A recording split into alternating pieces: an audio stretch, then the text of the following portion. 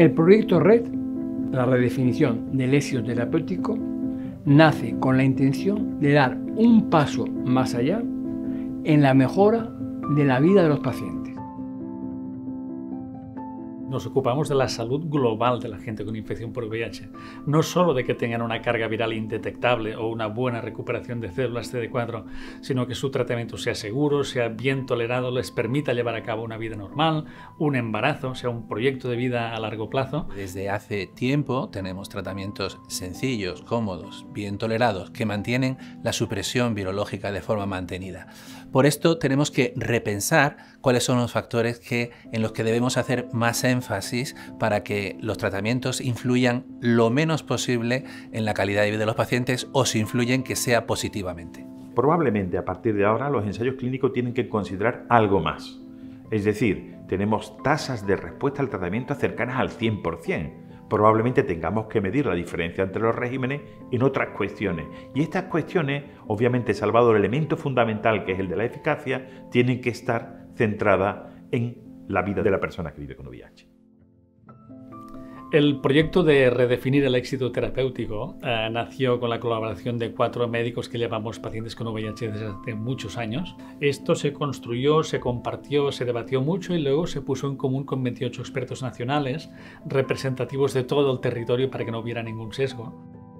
Se ha intentado definir qué parámetros de diferentes áreas del tratamiento antirretroviral eficacia, toxicidad, simplicidad, calidad de vida, inicio rápido, qué parámetros de esas áreas tendríamos que tener en cuenta para hablar de que definitivamente estamos teniendo el éxito terapéutico.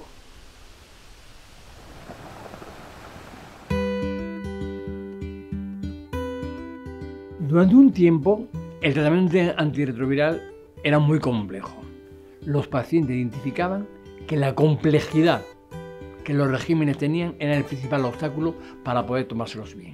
Y lo situaban por encima, por ejemplo, de la toxicidad, que en el 2007 apareció por primera vez una pastilla única que se administraba una vez al día, que era el extremo de la simplificación.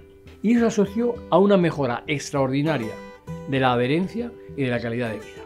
La redefinición del éxito terapéutico, uno de los aspectos fundamentales es el inicio lo más rápido posible del tratamiento antirretroviral. Un reflejo de la importancia del inicio rápido del tratamiento es lo que nos dice la Organización Mundial de la Salud en las guías desde hace ya varios años. Y es que lo que nos recomienda es el inicio rápido del tratamiento antirretroviral, o sea, en los siete primeros días después del diagnóstico, y si es posible, si las condiciones lo, lo permiten, incluso iniciarlo en el mismo día. Algo que sabemos desde hace varios años es que la persona que inicia el tratamiento se mantiene indetectable en el tiempo, no transmite la enfermedad. En la redefinición del éxito terapéutico es imprescindible tener un buen perfil de seguridad-tolerabilidad. Los tratamientos durante 25 años se han ido mejorando y hemos llegado a pautas que tienen eficacia y tolerabilidad óptimas y por tanto hay que usarlas. Los tratamientos hoy en día no tienen toxicidad potencialmente grave, sino que tienen efectos adversos que son poco frecuentes, que están por debajo del 5 o del 10% y que son de escasa gravedad, pero que pueden impactar la calidad de vida. En cuanto a las interacciones farmacocinéticas, básicamente suceden porque un fármaco induce la eliminación de otro y por tanto baja sus niveles, o al revés, reduce la eliminación y aumenta sus niveles y por tanto su toxicidad. El uso de drogas en relación a encuentros sexuales, el chemsex, pues es importante también su asociación con enfermedades de transmisión sexual y con posibles interacciones farmacocinéticas. Uno de los elementos de la redefinición del éxito terapéutico del tratamiento antirretroviral es evitar al máximo posible la transmisión del VIH. Y por eso es importante contar con regímenes que negativicen lo antes posible la carga viral del VIH. La mayor parte de las guías, incluyendo las de consideran la supresión de la carga viral el alcanzar una carga con menos de 50 copias. Bueno, uno de los pilares básicos en la redefinición del éxito terapéutico es la medición de la calidad de vida. En este sentido se han desarrollado una serie de herramientas que son los PROs o Patient Reported Outcomes, que lo que pretende es eh, preguntar activamente a los pacientes sobre aquellos aspectos en, en el entorno físico, psicológico, anímico, laboral y de relación con los demás que pudieran estar modificando, alterando su calidad de vida no podemos seguir valorando el éxito terapéutico exclusivamente por la carga viral. Todos somos conscientes de que en el momento que estamos viviendo y con los medicamentos disponibles debemos ser algo más exigentes. Y de ahí viene aquel concepto de redefinir el éxito terapéutico, más allá de la carga viral, más allá de los CD4. En cada visita estás obligado a revisar que ese tratamiento que esté tomando sea su mejor alternativa hoy. Eh, con seguridad lo fue en el momento en que se le prescribió, pero tienes que estar seguro de que hoy sigue siendo su mejor alternativa.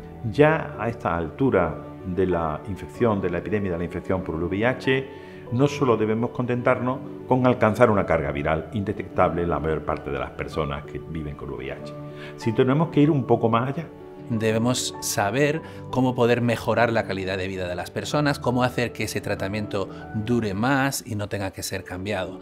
Por esto tenemos que repensar cuáles son los factores que, en los que debemos hacer más énfasis para que los tratamientos influyan lo menos posible en la calidad de vida de los pacientes o si influyen que sea positivamente.